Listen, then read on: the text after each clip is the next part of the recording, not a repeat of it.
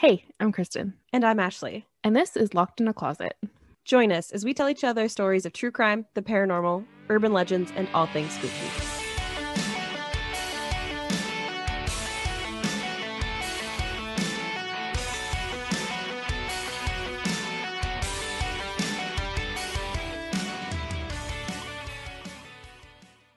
Welcome back, everybody. Hello. How's it going? Hello. Hello. Good. It's going Let's good. just do this whole time. I mean, yeah. anything There's not new? much. No, I. It's my life is very. It feels like Groundhog Day. I Like, know. I know that just happened. And It can I just say, Wiarton Willie, this is not going to be an early fucking spring. It I snowed all day. I saw a thing the other day that was like, wow, okay, so you'll listen to a groundhog, but you won't wear a mask. it's so accurate. oh my So god! accurate. Where did that come from?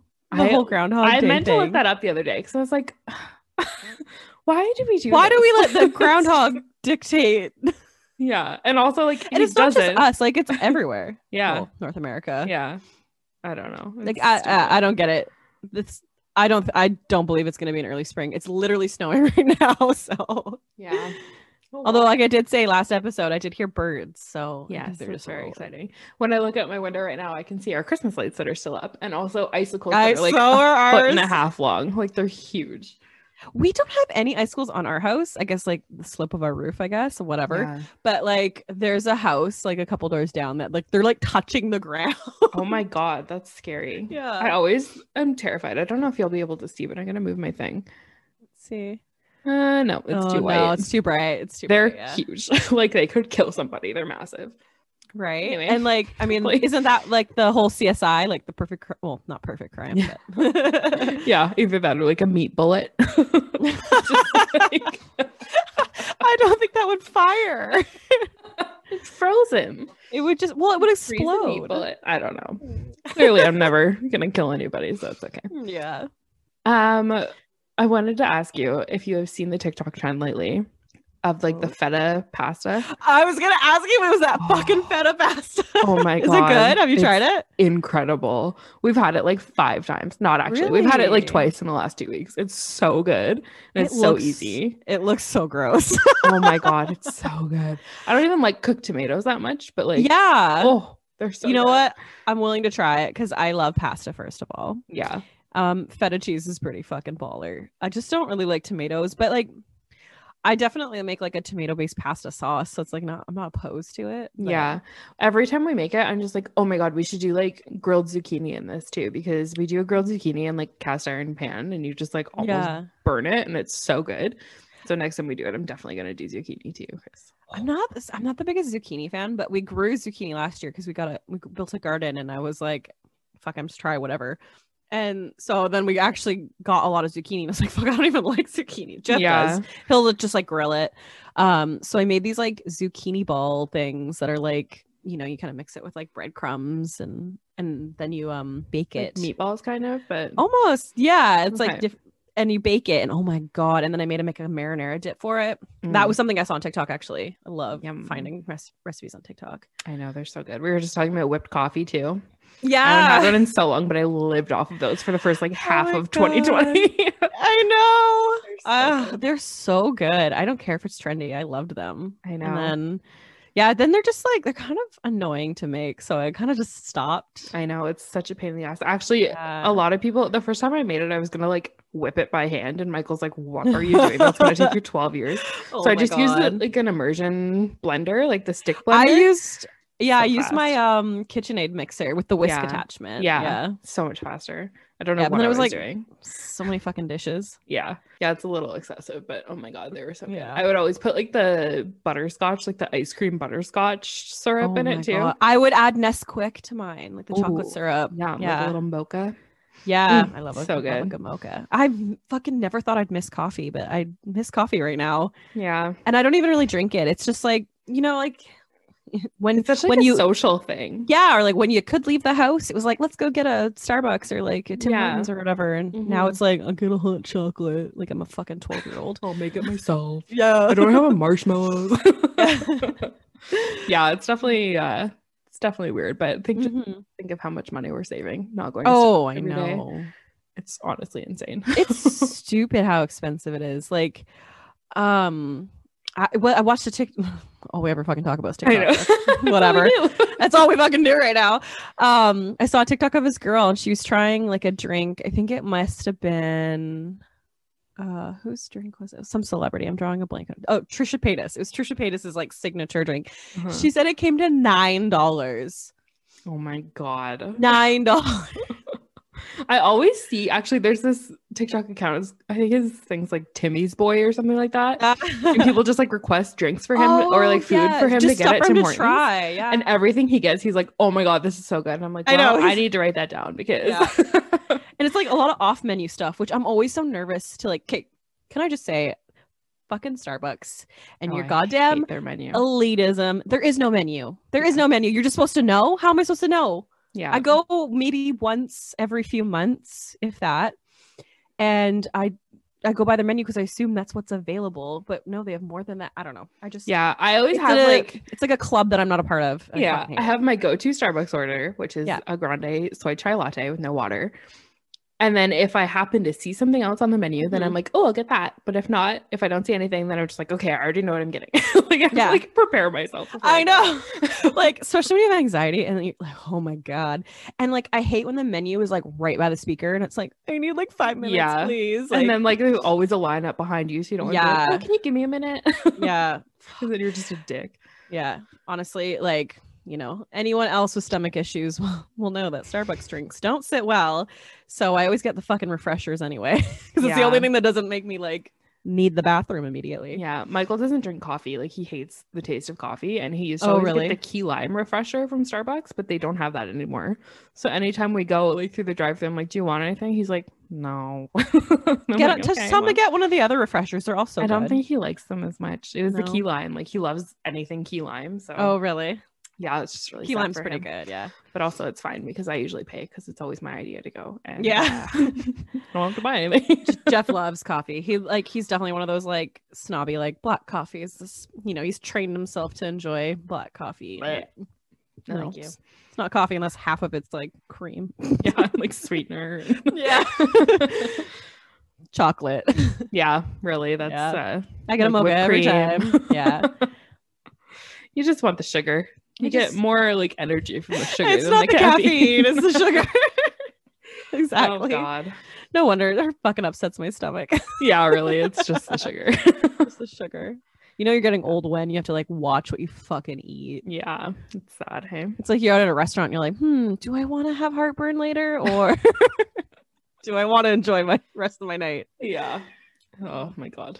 I hate it. I hate it. All right, what are we talking about this week? Cults. Cult. Cults and all the culty Fun. goodness. Culty, culty, cult, cult. Yeah. Organized religion. No, Yeah. just. Yay.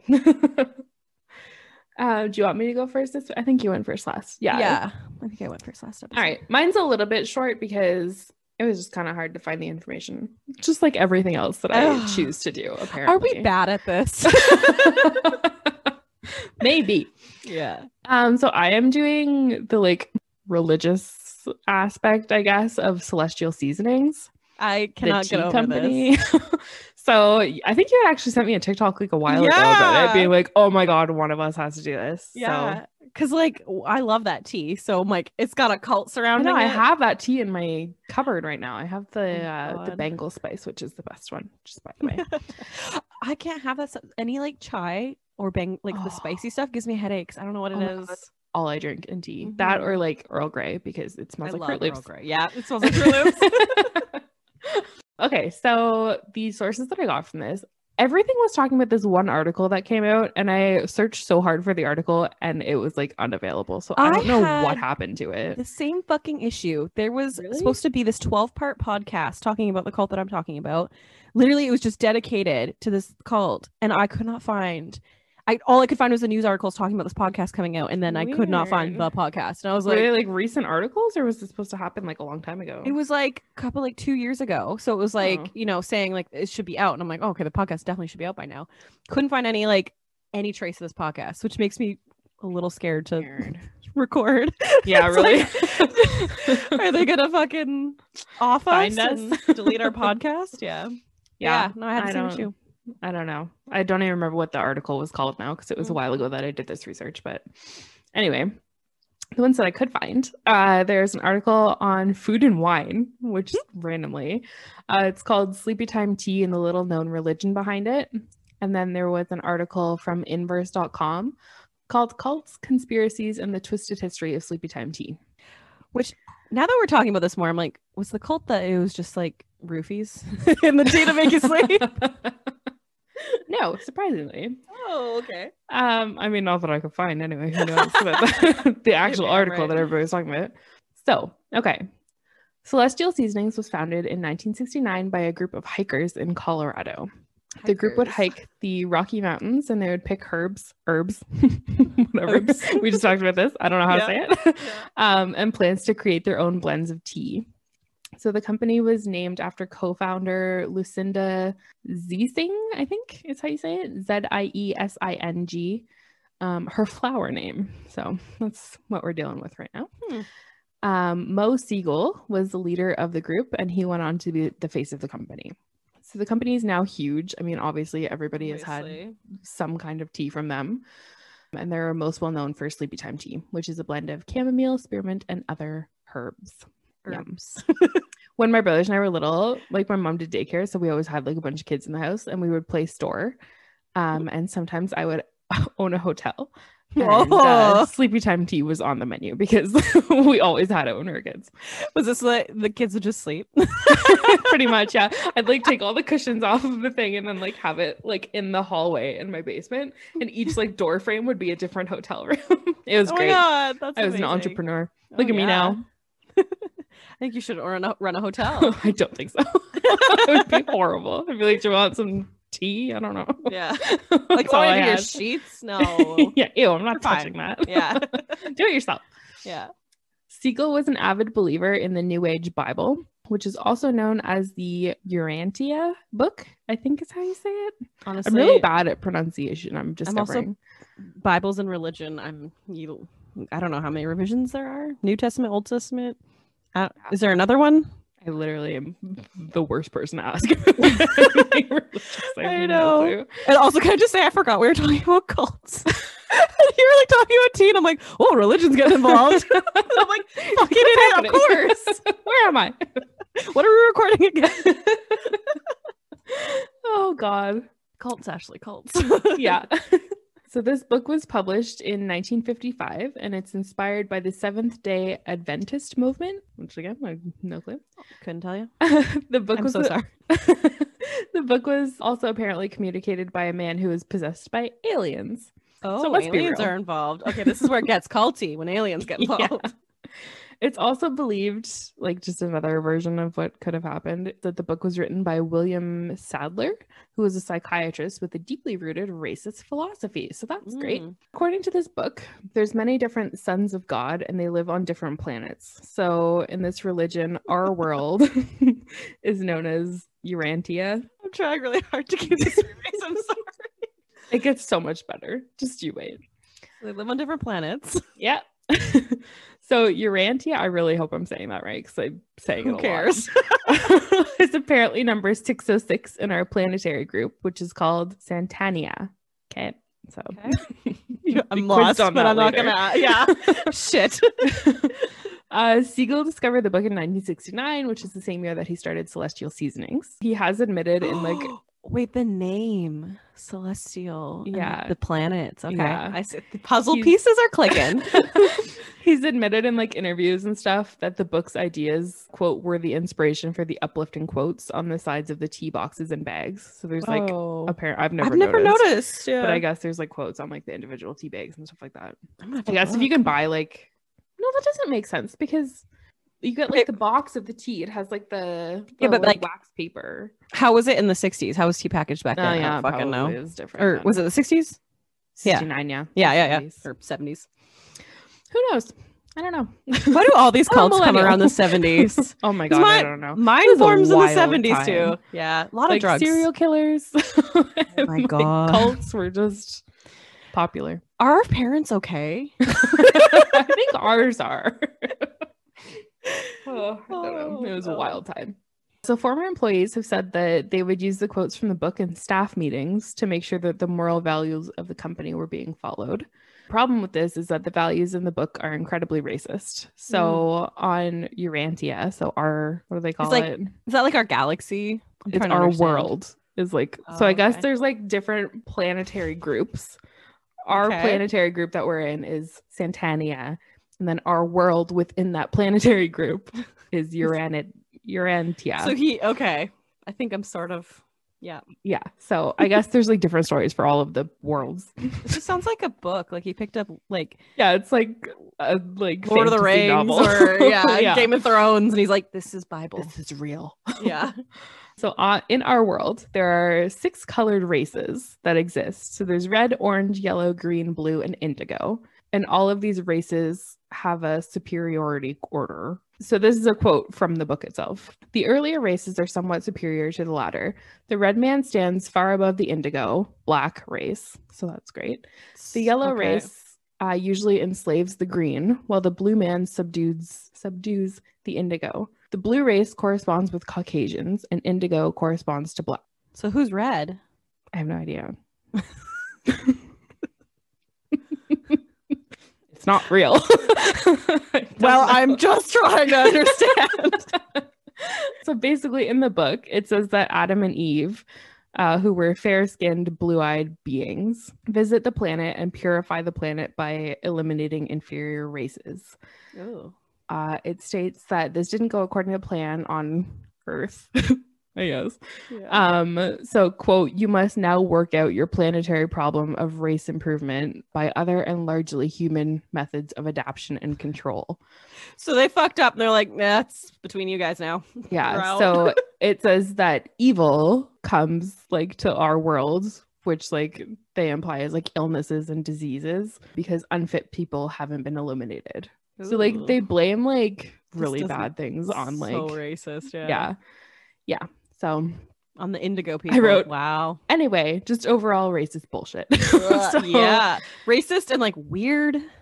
Yep. So the book also claims that Lucifer, Satan, Adam, Eve, and Jesus are all extraterrestrial beings who have just visited Earth. It also claims that when we die, we are reincarnated from planet to planet and then finally to paradise. Hmm. That actually kind of reminds me, weirdly, and I cannot remember what the name of this like idea is called. It- It's got a weird name, where it's basically like you are everyone that's ever existed on Earth. It's so weird. It's like every time you die, you're reincarnated either back in time or forward in time. Like time is no- Oh, nothing. so there's like a limited number of people that could exist. No, it's like there's just one person, and he Oh. and he or she is just every person that's ever existed. But every time they die, they're reborn at a different time. So, like, say you die as who you are now, but then you get, or this person gets reincarnated back into like, you know, sixth century China, and they are they were a little Chinese girl, and it's like the reason, like, you are the reason. Like you're doing everything bad to, to literally yourself because you are every person. I can't remember the name of this. that's so weird. I have to look it up real quick. But yeah, Yeah, I've never heard of that. That's really weird. I just I learned about that the, the other day and I was like, whoa. I'm like, what if? I just don't understand how that works. Like, how are there more than one person? How It's there just because like, person? Yeah, because like time means nothing. I came like- up with this. Um, Someone who is really high on drugs. yeah. I wish I I feel like I'm doing a really bad job of this and I, I apologize. it's okay. I'll have to look it up and then like next episode I'll Yeah, maybe talk about it revisit. more. Yeah, because I feel like I'm not explaining it well. That's what it reminds me of. So strange. Anyways, go on. Anyway, so we're pretty much at the end right now. Um, as of 2002, he's no longer at Celestial Seasonings, which is probably for the better. He is now the president of the Urantia Foundation, and he hosts weekly study groups at his house. That's Siegel, obviously. Okay. And so he was like the former president of the company. Yeah, he was like the face of the company. He was one of the founders, and now he's just, you know, Okay. heaven. So the tea itself, unfor- well, I don't say unfortunately, but like isn't the cult. It's just like, yeah, like the leader of, not the leader of the founder of the company. It was like, yeah. and is still, I guess, deeply into this really strange religion. Crazy. I don't know. I I mean, it sounds bad to say. I was like hoping for more, but Yeah. I yeah, mean, when I was doing the like- research, because it like it sounded like from that TikTok that it's like, oh my god, this like whole company Yeah. is like based off a cult, but no, like it was just the No. owner.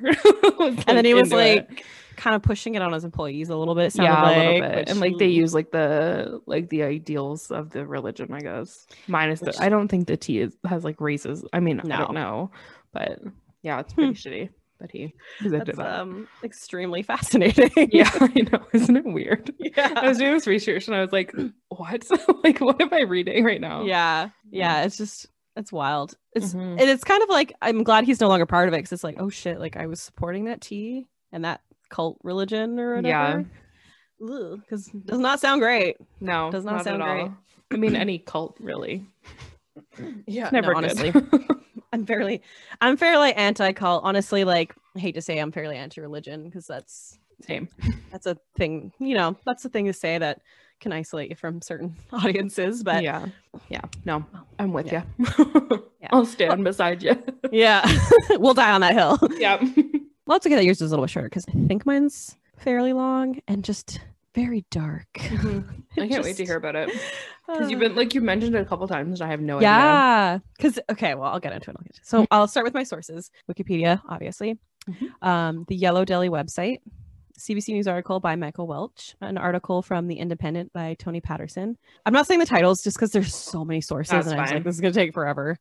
Um, a Times Union article by Larry, Larry Rulison, an Inside Edition episode, Mhm. um, an article by the Southern Poverty Law Center, and an article by Julia Shears in the Pacific Standard. Okay. So, I and this was another one where it was like hard to find information from one source. So that's why there's so many. Because and I wanted to make sure I knew everything. Because Right. this is like I said, I've been fascinated with this for so long. Mhm. And like I said, I, I think I've mentioned this before in previous episodes. I don't know if we've kept it in or not, but Yeah, I don't remember. I just know that you've yeah, we've talked about it. And the reason I wanted to cover this cult, so this is I'm doing the 12 tribes slash Yellow Deli cult. And so the cult name actually is the 12 tribes. Okay. And then the, the Yellow Deli is basically like a chain of businesses they run. okay. And so yeah, the reason I wanted to, to cover this is because town just outside of the town I grew up in, so in Chilliwack, BC, there is a Yellow Deli. And every time I would like drive along the highway, you'd see the big sign for the Yellow Deli. It was huge. It was like a big billboard. And it was like it was so cute looking. It was like yellow and the sign had like their logo has like a cute little like flower in it, like a little 70s flower. Like it just looked really retro. And I always wanted to um to go there, but we never ended up going because it's like it was like on the every time we were like driving camping or something it was never really on the way Right. and then a friend of mine who lives in chilliwack she she grew up there and she lives there she's mentioned she's gone a few times and she's kind of told me and then told me how kind of like weird her experiences have been in there which made me kind of like look into it Mhm. and then i think i don't remember what podcast i heard like a while ago had brought up the yellow deli and i was like wait there's other yellow jellies. like what and then yeah i found out that it's it's a cult That's crazy. yeah, I always wanted to go. I, it always looked like such a cute little place, like very rustic. Like the outside of the building, like all of the all of them locations are ma- like kind of look the same, like really rustic, really natural, organic. Like, and then like all their food is all organic. All the bread they bake, all of their oh, food Oh wow. they grow. So it sounded so cool, especially in like right now because it's Yeah. so hip hip to be like that Yeah.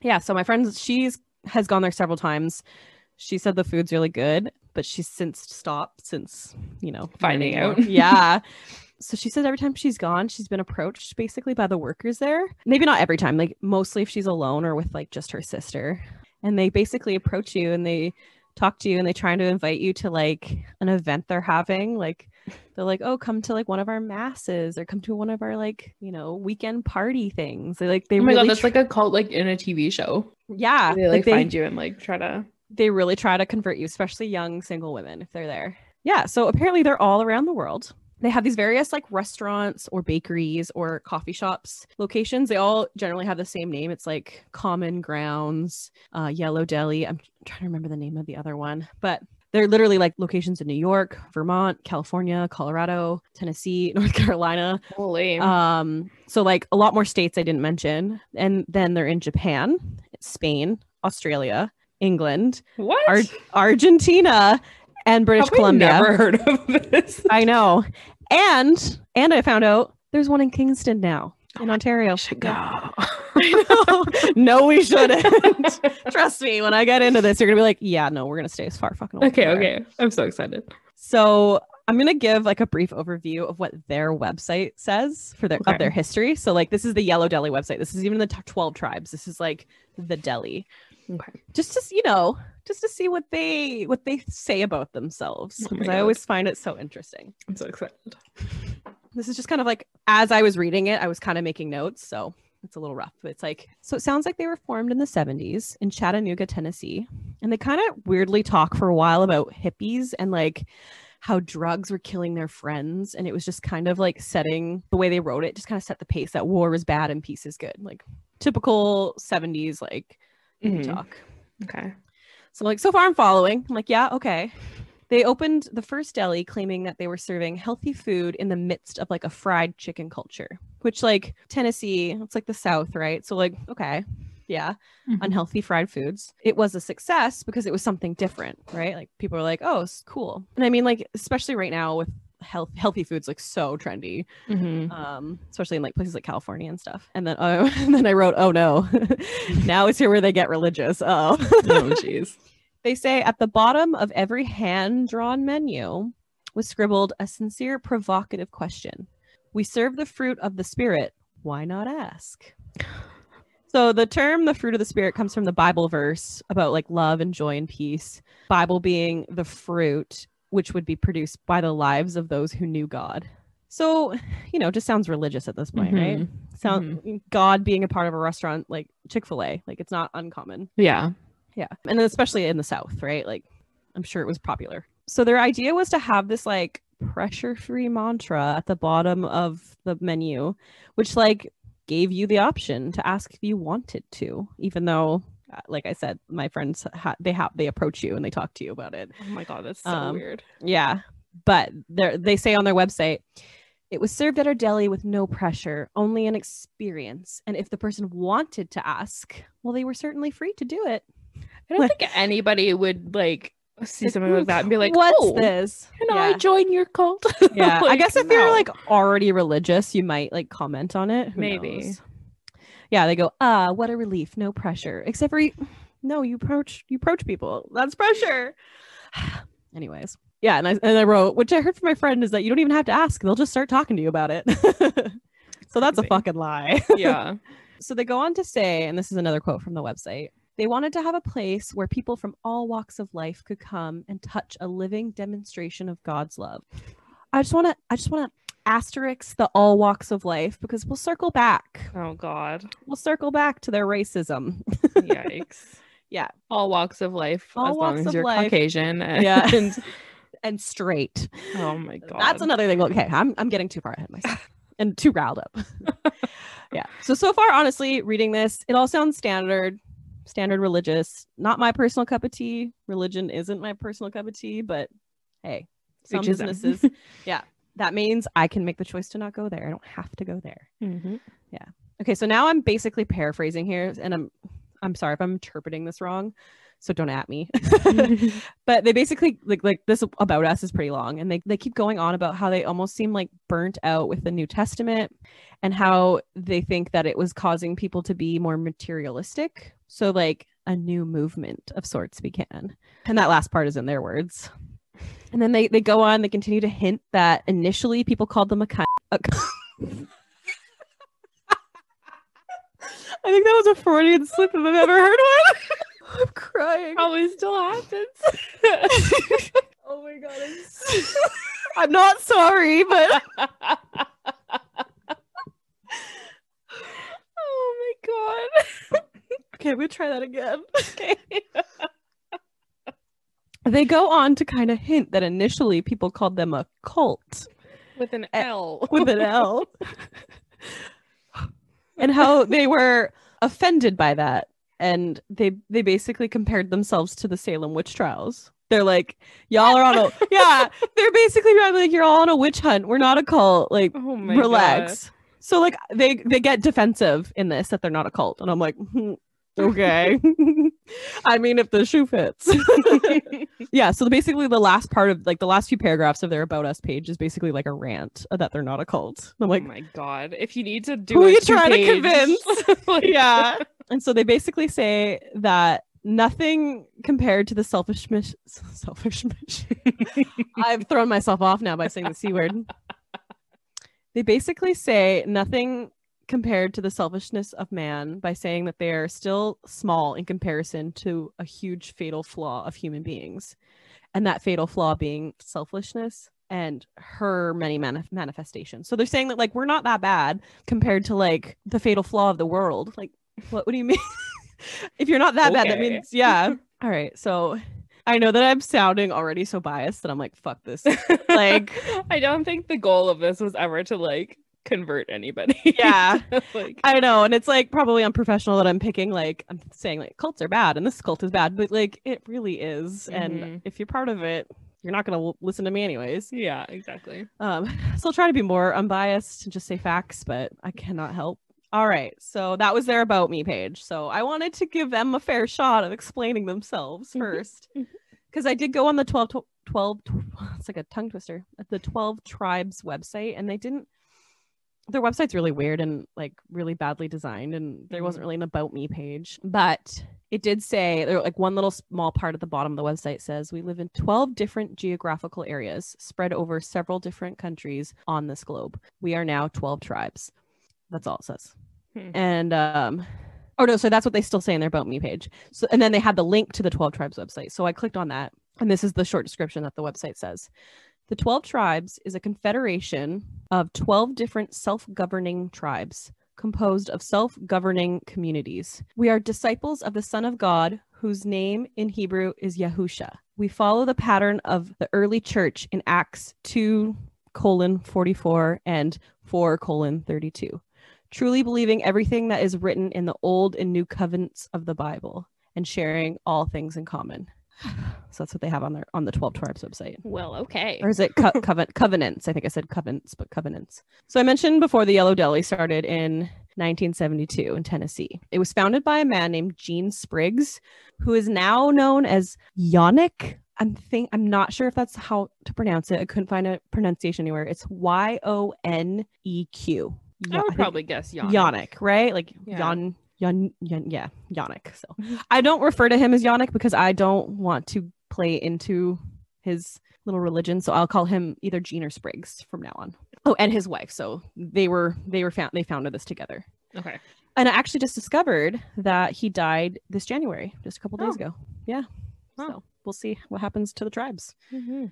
Yeah. So it sounds like back in the 1970s, he and his wife had attended several churches for a while to find like the right fit for them before finally settling with the First Presbyterian Church. I think I said that right. And they also hosted like a Bible study group. I say this in like air quotes, no one can see me. They had this like Bible study group event with other believers in their home. So they would like get together and I guess like preach at each other. I don't know how that works. That's what I assume. they probably Um, just preach at each other. Yeah. That's what we do when we hang out. So Yeah, yeah, yeah. Same thing. um yeah so with like other believers in their home and they specially recruited a lot of like local youths that needed places to stay inviting them into their home so a lot of these youths are like runaways and drug addicts who were desperate for help and Right. and needed a place to stay like i think they were just like fuck it i'll just get into this religion yeah. so, however, they discovered that the Presbyterian church that they had joined was both a bit classist and racist and not super welcoming of their little band of misfits that they brought with them, their little group. Okay. So, they didn't like that. They're like, oh, you're not so welcoming. But apparently, their final straw for leaving the church was arriving arriving at the church for like a, I'm assuming like a Sunday service on January 12th, 1975, to find that, that it had been canceled for the Super Bowl. Yeah. So, I mean, as we mentioned, materialism is not something they love. Yeah. So it sounds like them and like their little misfit band and like a bunch of other people basically left the church and kind of created their own, which they called the Vine Christian Community Church. And then that has now since evolved into 12 tribes. It's been Okay. renamed. At one point, it was like the Messianic Jews or something. I don't know. But yeah, so now it's 12 tribes. And then to support the people their little band of miscreants that they had brought into their house. They basically they opened the first yellow deli where the kids worked for room and board. Okay. So that's kind of where it came from. And that's still kind of what the Yellow Deli is about. So obviously this caused issue in the community, them leaving and basically creating their church and like taking people from other churches, Mhm. which caused several people to label Gene Spriggs as a cult leader. So I'm assuming this is where the cult stuff comes in and they're like, we're not a cult. not wrong. yeah. Like I said, the shoe fits. yeah. And in the summer of 1976, a man named Ted Patrick carried out a series of deprogrammings um, on like some of the children, I guess, but was unsuccessful and they were they thrived on essentially. They opened a second location and I think a few more years later, but then they admitted that they were like heavily in debt. So then they closed all of their locations and moved to Vermont. So this move and then obviously like their lack of funds caused a lot of members to leave initially. They didn't go with them to um, Vermont, but by 1989 they basically were thriving again. They got really successful in Vermont and they opened several more locations around the world, which went on to rename themselves as the 12 tribes. Right. Okay. Yeah. Okay, so that's the brief history of like how it's formed. I'm going to get into a little of its beliefs and practices now. Yay. So um now this is where things start to go weird. So I'm gonna I'm gonna read yeah now. Trust me, it gets so much weirder. I'm gonna read a lot of this off of just Wikipedia because I don't have a great understanding, especially of like religious stuff. Yeah, and like sure. they just write it so eloquently. So here's a quote. The 12 tribes' beliefs resemble those of the Christian fundamentalism, the Hebrew roots movement, the Messianic Judaism, and the sacred name movement. Could not tell you about any of those movements. Me neither. um, although I feel like Christian fundamentalism is the only thing I'm like more familiar with, and that's just like the, cra- Ooh, the There's a really Christians. good um YouTube channel. Actually, I sent you that one about the Duggars the other day. Oh, yeah, I forgot to but it's that. called uh Fundy Fridays. And this girl just like talks about fundamental Christian. Ooh, Oh yeah. my god. Like I've watched so many of her videos in the last two days. It's crazy. So, however, the group believes that all other denominations are fallen and that they therefore refuse to align itself with any denomination or movement. So they're like, every religion's wrong. We're doing this right. Hmm. Sure. They, yeah. I mean, I'm not, I think that too, but You're half right. yeah, right. You're so close. They believe that in order for the Messiah to return, the church needs to be restored to its original form seen in Acts 2 colon 38 to 42 and Acts 4 32 to 37. ah, my favorite. My favorite passages. so I went to read them because I'm like, what the Oh fuck? dear God, why? They're short, thank God. But okay. I, you know, I wanted to understand what they thought was how we should be acting. Okay. So the first one didn't make a lot of sense to me, so I'm deeply sorry if I'm interpreting it wrong. But basically what I gathered was that that first act was about turning away from sin and helping your fellow man turn away from sin. I think that's about it. It was basically like don't sin, but there was no specifics on what I what you my instructions were, yeah. And then the second act was all about being like materialistic and how that was bad, and that no one must benefit and no one can hold proceeds of their land. It all must be given back to those in need. Okay. Yeah, that sounds like anti-capitalism. So much. I'm part. I'm partly there. So Converted. honestly, yeah, it seems kind of harmless, right? Like those are pretty understandable things to like want to believe in. Like, yeah, Yeah. materialism's fucking stupid, and also like sin. I mean, um, whatever. Some sins, are like murder or whatever. Yeah. But But you can like live with your boyfriend. yeah. It's Yeah. fine. So, like I said, it's like it seems harmless, but um, it's never it's never harmless when Yeah. it comes to that. So, the twelve tribes believes that there are three eternal destinies. It doesn't really elaborate what these eternal destinies are. I think I think maybe this this next part will. So, after the fall of man, every person is given a conscience, and I think the fall of man refers to like kind of like the whole like Adam and Eve thing. Okay. I don't know. Um, oh, it's we already- shouldn't have done this. I know. We're so uneducated. religion, and we're like, oh. yeah. Well, it's like some cults are more like, you know, space themed. This one's just Mhm. based a lot on the some Bibles that they've mushed together. So yeah, after the fall of man, every person is given a conscious, and then after dying, every person goes to a state of being called death, regardless of faith. So okay, death, dying. So I'm already lost. I can get behind that. yeah. So upon the second coming, which hasn't happened, Okay. I think, I don't know. Really believer don't know. I know, I'm sorry. So upon the second coming coming, believers will be brought back for the thousand years to reign with Yahusha. I think I hope I'm saying that right. Before the last judgment.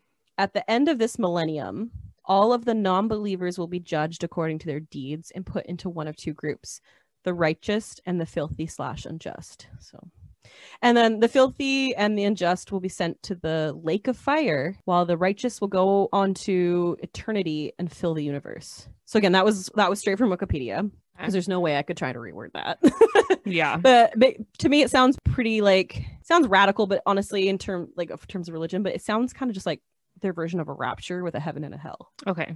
yeah that's kind of what i'm understanding is like some sort of like their jesus yahusha is going to come back and then for after a thousand years some rapture is going to happen that's that kind name. of Yahusha. Yahusha. yeah I, I, I get I explain that a little bit more It's just fun to Hopefully, say. I'm saying it right. So I thought this was an interesting piece of really uh, information on discussing relationships of marriage. This is this is how they do their marriage.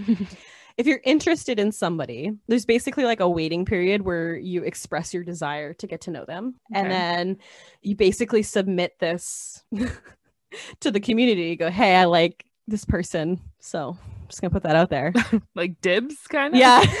oh my god, yeah. It's probably like called it dibs.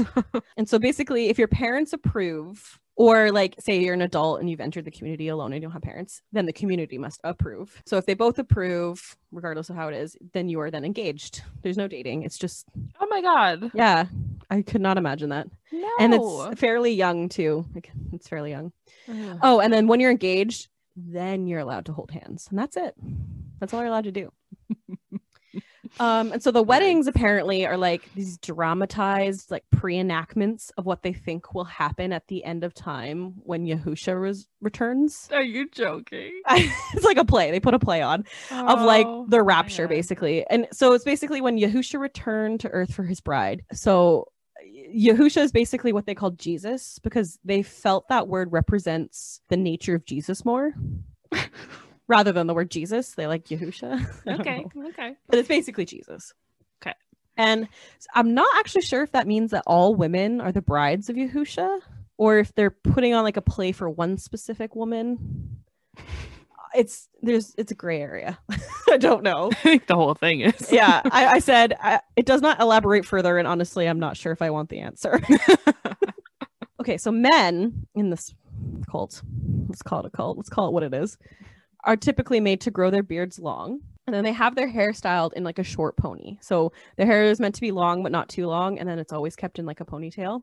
Okay. And then women typically wear like floor length dresses, usually like they're a lot more like modesty is key. They have long hair. I don't think they're really allowed to cut their hair very much. And then during religious ceremonies and events, they wear bonnets to cover like their head and their hair. But like any other time's fine. I'm not entirely sure hmm. why. And then like so people who have like encountered them or like, you know, gone to these the delis and stuff and see them, they just often describe them as looking like a typical hippie. Like Okay. Like clothes are pretty t- like baggy jeans and stuff for the men and like flannel like Tie dye. yeah it's it's when they like people see them because they apparently they would often go to like concerts of like music that was more typically like hippie-ish Okay. and try and recruit people there and they would just blend in right like they didn't look like they were a part of a cult really right. they just looked like a hippie and so the men and women were often given new names when they entered the community and they were typically hebrew i think they're all hebrew they're all just hebrew names that they were Okay. given and so there was like so many rules and very like very strict rules about how they were allowed to dress and act some as ridiculous as how much toilet paper you're allowed to use and how oh long your god. and how long your fingernails are allowed to be. What?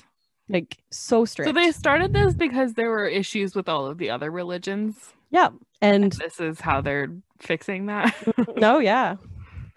Wow. and all these rules came down from that like the gene guy the gene spriggs basically. He's like written this. I'm pretty sure. So all of the children are homeschooled. Sounds typical. Mhm. um, and i'll get into this later but there's accusations of child labor and child abuse Oh. and yeah it gets dark um, and i'm honestly not convinced that the issue is solved i think it's still going on so basically at a certain age teenagers basically become like apprentices to whatever the elders decide best fit them Okay. so so they don't go like like i wrote they're sorted into their skills like like the sorting hat it's like in The Giver. Have you ever read The Giver? Oh god in high I've school seen the movie. yeah it's been They're a while like assigned their like jobs and like their Yeah. roles and stuff. it's basically like that where like once they reach an age basically the people around them go like oh you know what you're really good at like baking or building like you're gonna be this Okay. so college is never an option They believe that college is not a healthy environment for children. For children. Yeah, college is the unhealthy Yeah. environment. They believe it's an unhealthy environment for learning and social development. So I mean, look at me. I went to college. I'm a, I'm a fucking freak. so children aren't really allowed to play with toys. They don't have any toys, and they are not allowed to engage in fantasy play, as one article put it. So basically, like no using their imagination Like, imagination. what can they do? Just sit there? They're only allowed to read the Bible and the rules and scripture of the group. Oh my god. Yeah. So, oh, and they also believe in corporal punishment. This is where I'm getting into the abuse now. Um, trigger warning. So they believe in corporal punishment and spanking with this like rod thing is the most common. So it's been it's got a couple different names. I think calling it the rod is like the most common, but it's it's basically like you know when balloons are on like a little like wooden stick. hmm It's like that. It's like a switch almost like a like a thin wooden stick. Okay. So that's the most common, but ex members claim that it gets far more abusive than that. Hmm. And so the practice it's called is called scourging, which basically means where a child would be hit repeatedly with the stick until they are bruised. Oh. Yeah. So there was a CBC article I read where a man named Michael Welsh actually went undercover and joined the 12 tribes. Oh my god. Yeah, it was really fascinating to read. Um, he described that in the first six weeks of his stay, he found over 20 of these rods hidden all around the community, hidden in places that, like, if someone was just visiting, they wouldn't necessarily find them, like under beds, like in bathrooms, like on top of cabinets. Mm. Like they were kind of just spread out everywhere so that in, in case someone needed to beat a child, Grab was one quickly. one available. Yeah. That's crazy. Yeah. So I would definitely describe them as kind of almost like a commune like religion. Like they all Mhm. lived on one one big area, which I think is pretty typical of like most cults. Yeah. But it was typical to be up really early, like 5 or 6 a.m. for a morning prayer thing. Um, then they would have breakfast, and then everyone would then split off into their different work groups. So depending on where you lived, and like obviously all the different locations had different things, but your tasks would range from sometimes you'd be like working in the deli, like you'd either be a server or whatever, or in the bakery baking all day long. There's also they had like I want to say factories, but like kind of not like factories because a lot of this happened like within the little communes. But Mhm. you'd either like be packaging tea because I guess they sold tea, or they would like Celestial season. oh my god, have we found a connection? and then of course if you lived like out in the farms, then you'd be doing like farm work, like milking, goats, gardening, even so much as like getting honey from the bees. They got their own honey. Like oh wow. They definitely did everything organically and whatever, which is is cool in its own way. If it's not a Mhm. cult, but it's expected that you work up to 16 hours a day and you're not paid for any of this labor. Oh my god.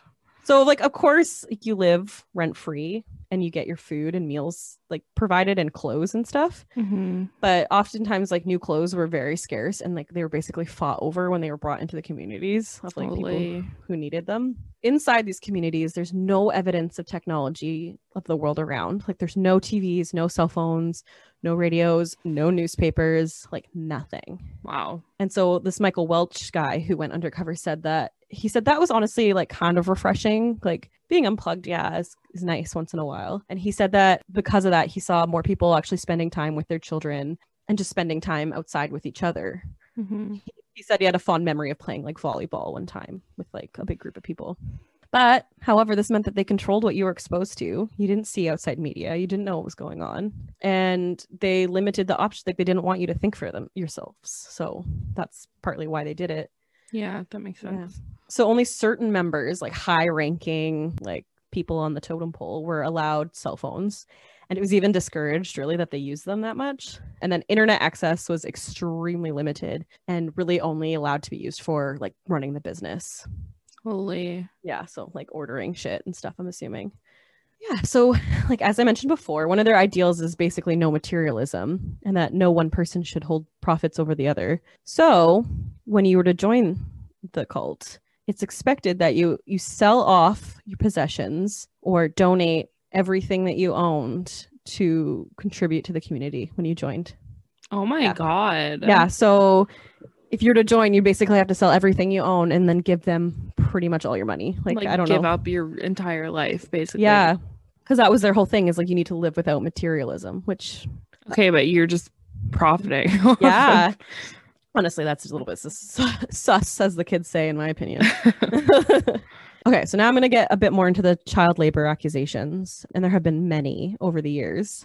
The first, I think, was in 1984 in Vermont, so they like their original second commune. A hundred children were removed from the compound, so they raided it. They removed hundred children from the the compound, but later all the children were then returned because the raid was determined to be unconstitutional. I Oh guess. my God. Yeah, I guess like the warrant that they had was too broad, and the a judge basically had to throw it out. Yikes. Yeah. And then in Germany in 2013, so more recent, 40 children were removed from their community due to accusations of child abuse due to beating their children with that rod switch thing. So I guess I don't know if there was like undercover video that someone had took that got leaked, but it basically was video of like these kids just being beat like mercilessly. Like Hmm. And I don't, I should have looked about it, looked in the States, and I know in Canada it's illegal, but in Germany too, it's illegal to beat your kid. So that's, they were basically like, perfect, we've got the evidence. Yeah. And so they went in and raided, and then they took um, the 40 children away and put them in foster homes and stuff. And like, what's really sad is I read an article that like some of them ran away and to try to get back to the community. Oh my God. Yeah, like that's how deep the brainwashing goes. Oh. Yeah. Well, and So- I guess like if that's all they've known, Yeah, and it's like your family, right? So it's like not necessarily the family that's beating them. It's like Mhm. some, usually it's like the teacher or like just some random Yeah. ranking member. So a former member who actually ran away when he was 14 from the German commune, he claimed that he was beaten for things as simple as imitating an airplane.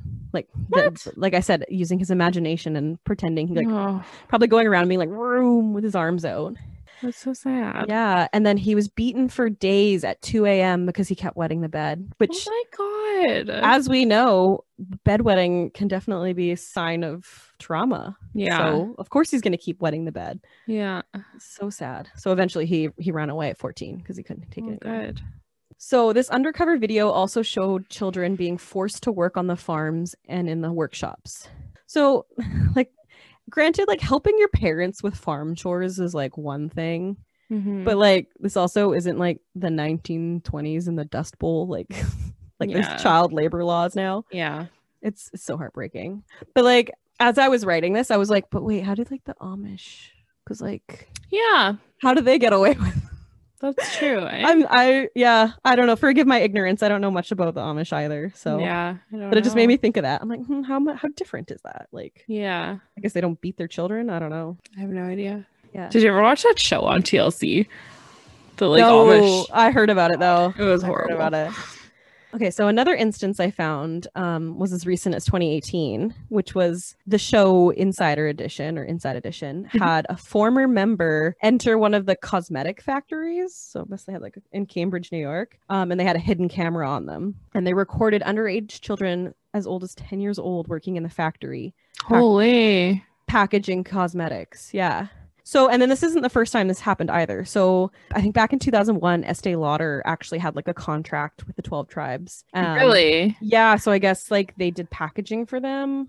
Okay. I'm I'm not entirely sure on those details, but so I guess Estee Lauder had done a random inspection, and during that random inspection, they discovered children working in their little factories, and so all of the companies involved in this have terminated their contracts, thank God, hmm and they obviously didn't know what was going on, Yeah. and I'm sure it's still happening because this happened in 2018, like Yeah. That's so recent. That's Yeah. crazy. Mhm. And like, so the response to this, I'm, I'm assuming this is the 2018 one, was on Facebook. It was a Facebook post that basically they said, We make no apologies that we include our children in the tasks of our life. They wash dishes, they pull weeds in the garden, they sweep the floor. Most of those children were there on a Sunday visiting their parents on their own property. If they were putting tubes in boxes, it was for minutes, not hours, not days. The soap shop is on their home, it is their place. So when I say factories, I guess I kind of mean that like they would almost have like do it in the buildings on the commune or like, Right. in their houses, like just like take some stuff home and then package it. So Mhm. it's not like a full on like factory situation. Yeah. So that's what's basically what they're trying to say. They're like, oh, they were just visiting their family and like decided to help a little bit. Like, fucking no. Sure. yeah, no. so yeah, that's fucked up. Yeah. Children have also died because of their rejection of modern medicine. So during the 1980s, a whooping cough pandemic swept through the community. It didn't say which community because there's 12 or so, whatever. Hmm. Um, and then that killed at least one known child. So there could have been more, but one known child was killed from the whooping cough and then I'm not taking to the hospital. Mhm. Their belief being if God wanted them to live, they will be saved. Oh my god. I know, one of those. Mm. They also tried neglecting women who were having difficulties during birth, only for both those women to end up losing their child due to refusal to taking them to the hospital on time. Yeah. Because they, I'll get into that more of how they control the whole childbirth thing too. So, and when they did eventually take them to the hospital, they dropped them off at the curb and left. Oh Yeah. my god. Mm, And both of them survived, but both lost their child. Oh Yeah. god. So, aside from the community being heavily involved with child abuse, they're also described as being extremely racist as well and believing that all gay people must be put to death. Oh Yep. my god. They considered homosexuality a capital offense. Yeah. Like what year is this? I know. How and what what happened that? to the all walks of life? Yeah, really. Yeah, that's all walks of life asterisks. Like, Yeah. yeah. So, and then like this is what I said. E- even though Spriggs and his wife originally seemed to leave the original church due to classist and really racist beliefs, Spriggs' tune eventually changed and now preaches that blacks were destined to be slaves. Oh my god. Could you fucking imagine that? That being the way you think? That's fucked up. Like yeah, no. I mean, Yeah. obviously like that's never okay, but especially like any time in the last like 50 years, like Uh, yeah, and and to to not feel that way originally, like it's weird. yeah. So, of course, misogyny is also pretty typical, and it is expected that their women are submissive to their husbands without question, which often leads to abuse. I bet I'd get kicked out. Oh my god, I would so get kicked out. You're like, "Hey, fuck Yeah. you." and like pretty much they're told who they are to marry. So, like I said, the court, like, so some guy could be like, "I like, I like you, Kristin," and that's it. If the community Nice. goes, "Yeah, that's great," then you're married to that man now. oh Like, my uh, god. you don't get a say. yeah, I would last about 5 minutes and then Yeah. and the, and and they're married off usually around 17 like fairly young too Oh my god. and then they're basically you're basically kind of told when to have children as well but it's encouraged that you basically start as soon as possible and you have as many as possible so the use of pain painkillers during birth was strictly forbidden and the reason for that is to atone for eve's original sin you're atoning for the sin of eve Oh my so you're not allowed to have a fucking any painkillers oh my god That's ridiculous. yeah. And of course birth control is not allowed. Typically, I think only men are basically can be like the leaders. I didn't put the hierarchy or anything because it didn't really matter. But Mhm. and then women are only typically put in charge of things to do with like meal prep and cleaning. So you know, Shocking. yeah, Shaw. I don't think anyone's surprised. I also believe that it's been mentioned. I think on a Reddit thread too. Like people that have visited there, they've noticed that women really won't speak unless spoken to. Like you're not really allowed to initiate Holy. Yeah. So, like many cults, leaving is nearly impossible, even though they say there's no pressure, stay as long as you like. Like I like I mentioned before, when you first enter the, the tribe, there are 12 tribes, you are to give up all your earthly possessions. So leaving, how could you leave when you have no money and nothing to your name, right? Like You don't know very- anybody and Exactly. It's very difficult. And of course, in their believings, they're severely scared into believing that the worst harm imaginable will come to you if you leave. So like during like their ceremonies and preachings and stuff, they'll preach about people who have left or like tried to leave and basically talk in gruesome detail about how they like died. So I don't know if these are like made up stories just to like scare people, being like, "Oh, mm-hmm. George tried to leave and then a fucking thunderbolt hit him and then he burned to death and like they basically like fear monger you into staying yikes. And in one of the articles i read someone was trying to get a hold of ex members to like interview and they basically said that they refused to talk because they still feared that wrath that like divine intervention Oh my basically. god. right could you imagine that like they're out of it and they're still still in it somehow Yeah. Yeah so of course like obviously that's all of the negatives um i covered a lot Mhm. so I and I went to Reddit because I wanted to see if anyone had any personal experiences other than my one friend. And you know, one thread I read actually had a ton of people talking about like their positive experiences with the community, but it, it was all a lot of like, oh yeah, I stayed with them because I guess they have a hostel in Spain. Like, oh, I stayed at the hostel for a few days. Like they were all super accommodating, super nice. Like, and of course that's just the people that go and then leave. Yeah. Um, and from what I've read, they are very, very, very nice to you at the beginning because they want you to join. And I'm sure living in it, if you were fully in the whole brainwash thing, like everyone's going to be really nice to you within it. Like it's just everything else, like the 16 hour work days where you're basically treated like slaves and Yeah. your, your kids getting beaten and working in the factories and Yeah. yeah. So like there's nothing wrong with the commune lifestyle. I know it's like super ideal to people like two of my closest friends would thrive in a commune if they could make their own Mhm. little commune with like all their f- people they wanted. Like it sounds ideal. I just feel like so does communism. Yeah. Yeah. right? It just sounds ideal. And there's nothing wrong with if anyone wants to be part of like religion. Some people need that. Some people need the structure hmm or they like need it for if they have like a drug or alcohol abuse, like they need that help to like Yeah. get out of it. It can be very positive, but Yeah, for sure. I don't know. I think it's just like I draw the line at like the beatings of child labor and the homophobia and the racism Yeah. And the sexism and and the sexism. yeah, just yeah. everything else. Yeah. So yeah, that's the uh that's the 12 tribes in a nutshell.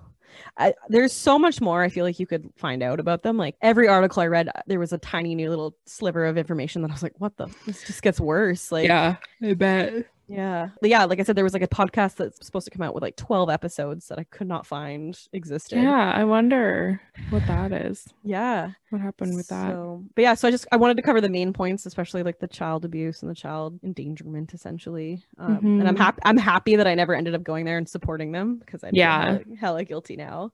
Yeah, for sure. Um, I wrote, it makes me want to be like those annoying assholes who protest outside the Planned Parenthood. Like I want to go take like a these guys are a cult right Don't outside the eat here. restaurant. yeah, exactly. yeah. Yikes. That's crazy. And it's my crazy that stuff like that happens like present day. And I had no. It's been there for years. It's been there since I was a kid, and I've had no idea that's what it was about. Yeah. That's so weird. It's yeah, it's it like you said, it's crazy that this is happening, and it's not just you know, it's not just in that tiny town of Chilliwack, BC. Like it's fucking It's everywhere. worldwide. It's worldwide. Yeah, it's insane. Yeah, that's crazy. Yeah. It's so fascinating and so sad. Like those poor kids. Cuz I didn't include it but like, you know, they basically encourage like in their rules and doctrines and stuff, they encourage child beating and saying like you must beat the sin out of the children. Like this is how you grow up to be a man, like how they grow up to be like smart men and women and stuff. Like that's how you shape a man. I'm like, no. I hate that. Yeah, that's not how you shape anybody. Like, like yeah. oh, That's how you beat a horrible man. yeah. beat. That's how you shape a horrible man. I mean, Yeah, it's just so dark and so messed up. yeah, that's horrible. So if you see, you know, a yellow deli or I think the coffee shop's called Common Ground. Um I feel like I've heard of name. Common Ground. yeah, uh, I'm trying to think of the other restaurant. Like and the, it's not even just opposed to like restaurants and stuff. It's like I think they even have like a construction company somewhere. What? I know they have like various little businesses. I'm gonna see if I can try and find it. But yeah, they're now in Kingston. I think it's fairly recent, like as of 2018. Yeah, they're on Princess Street. I just googled it. Mhm. Oh, so they have their they have their own printing company that has printing services. Uh, a, a construction company based in Plymouth. Another construction company in just says southeastern U.S. Greener Formulas, so it's like a soap and body care thing. Okay. Oh, their their their farm. One of their farms is like Common Sense Farm, which is like another soap and body care stuff. It's interesting that it's called Common Sense when they're a cult. I know. and Common Sense would tell Yeah. you not to join a cult. and then yeah common grounds cafe and then yellow deli are like the two like more like they have diff like the same name but they're everywhere Okay. yeah it's it's insane and they're everywhere they're all throughout the states which also means that like each one of those places have like members i, I should have wrote it down but i think i think it was like up to 3000 members which doesn't seem like a lot for how many locations yeah, have. that's weird. yeah And I feel like they wouldn't get like that much attention if it was only Mhm. like 3,000. Maybe Yeah, it there's says- 3,000 members at like a specific yeah like part of it. Like, I don't know. who knows or like that's just all they're admitting to having Yeah. Well, there's a bunch of common grounds in the States. Mm-hmm. They're everywhere. Mm, New York, Massachusetts, Vermont, Kingston, Pennsylvania. It's crazy. I think there's like a yellow deli in like California. Because I remember, I'm assuming it was the MFM ladies that had mentioned it. I don't know if they covered this because I couldn't find it, but Yeah. I just I had to cover this cult because it was like just outside my hometown for Yeah. still, yeah, like my friends. and now it's in there. my hometown. Yeah, now it's in Kingston. It's like Crazy. there's one in Manitoba. I know you don't think it's real, but there's one in there. Like the oh, the guy that went undercover, I think, went into the Manitoba one. okay. That's where he got all that, which is yeah, it's just cults are wild, man. I'm so fascinated by them. They're Yeah, yeah, so messed up. Really crazy. Yeah, really, really crazy. I think anything where you need to give up who you are is never a great idea. No. And Yeah. like I feel like it's easy to sit here and be like, oh, like what the fuck? Like how would you ever join a cult? Like, how would you not know? But like clearly it happens. And like I don't know. yeah, honestly, I think that's what last year 2020 taught me was that everyone thinks differently. And not all of it's correct. no, like not wearing a mask. Yeah. and and like COVID it- being a lie. and I think cults definitely prey on people who are not in a great space of mind. Like yeah. You know, like it is a lot of like ex addicts and stuff that need religion or need something, need someone to tell them what to do, basically. Yeah. Yeah. They're just like looking for direction and Yeah. And where they end up. salvation. Yeah. It's really sad. But it is. I mean, if you're happy living that life, then all the power to you. Just don't yeah, hurt. Just, Just don't hurt anybody. yeah. Just don't be a dick. Life, life's mantra. Like, just do what you want. Just don't be a dick. Yeah. yeah, pretty much. yeah. My God. It's crazy. Oh, I'm glad we got one. that. Yeah. I feel like I need a nap now. I I'm just, like know. exhausted from all the information. Oh God, so much. It's crazy. What are we talking about next week? Are we I back think to it's a true crime. I think it's a true crime episode. Yeah. So Nice. Oh, speaking of next week, it will actually be next week because we're uploading weekly now. yeah, So that's new. Yeah. We're This is going to be the third, third or fourth in a row. Mm, third, I think. I don't know, but we're we're tr- we're trying weekly and seeing how it goes. Yeah, we've been, we've been able to keep up with it. So Yeah. So hopefully we can keep that going. Yeah. Um, we should mention again too, like if people like us to rate us and subscribe. subscribe and do it, whatever you're Yeah. supposed to do. We still don't know. Yeah, I'm, I'm not a YouTuber. What what does it say? Like click that little button or whatever. Yeah. smash that like button. yeah, smash. That's what they always say. Smash that subscribe button. Yeah. Yeah. Anyway, apparently it helps. So Yeah, and, and we like doing this, and we'll probably still keep doing it. yeah, I don't care if nobody listens. Yeah. we could talk. I like doing it. I li- honestly, I've learned so much about so much in the last Yeah. couple months of doing this, and it's Yeah. so fascinating. Yeah, it really is. It's I I'm, really, uh, feel like I'm becoming so annoying to Jeff because we'll be like talking, and I'll just like start talking about like this cult that I'm doing research on. Like, he's like, okay, I get it. yeah, he's like, what the fuck? no, it's good. It's Yeah. fun. It's a nice Yeah. little passion project for now. exactly. I guess I'm really just like sad now. I know it was a heavy one. I was not. I didn't know how dark it was going to be going into it, and then the more I did research, I was like, oh, oh, it's got child abuse. I don't Yeah. like this. yeah. Yeah. Just crazy. Mm-hmm. Yeah. And then next week's just gonna be true crime, so it's gonna be another awful. It's gonna be more- story. yeah. Why do we Oh, do this to ourselves? At least we can laugh through our pain. Yeah. That's how we cope. sometimes we get the ghost ones, which are just creepy and not. Yeah, those are more Fun. fun. I mean, Yeah. some of them are sad. Like I talked about, like a father and daughter that got killed. Like Mhm. Yeah, the And, two girls yeah. that drowned and mine, and Yeah, like- tried to save them. it's just really sad stuff. So It is. Oh, well. anyway, until next time. keep on creeping on.